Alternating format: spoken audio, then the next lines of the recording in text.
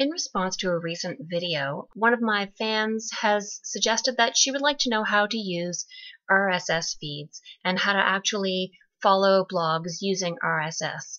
So I'm just going to give you a walkthrough on how you might do this. If you wanted to subscribe to a feed from a blog, you'll find a symbol that looks like this. And what you need to do is click on the type of feed that you would want. So this one gives you options, but I'm just going to click on posts. And then it gives you choices of what to subscribe to. I recommend using the Google feed reader only because this works for me. So I'm going to click on this one and you can add it either to your Google homepage or to your Google Reader.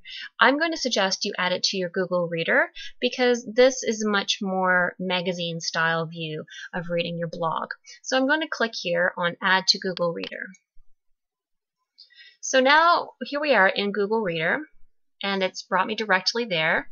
And if you look down here in the corner, you can see the subscriptions that are um, currently in my Google Reader.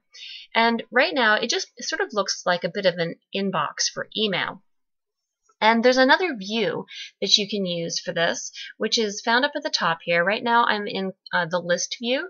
And if I want to expand it, I can put it in expanded view. And you'll see that what this does is it opens up these listings and turns them into um, actual readable content.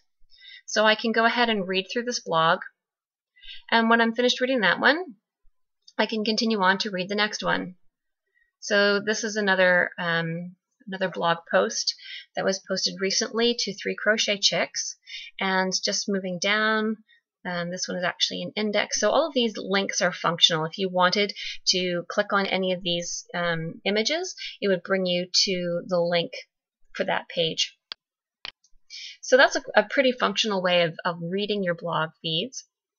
And what you'll notice is that beside each title, there is a little star button. So if there was something that you wanted to come back to later, you could hover over this area and click it, turning it into a star. So then when we click back over here into the list view, you can see that beside these two items, I have stars beside them, and that will help me come back to, to find those more easily later. Over on the left further, you'll see that right now I'm viewing all items, but I could just view start items.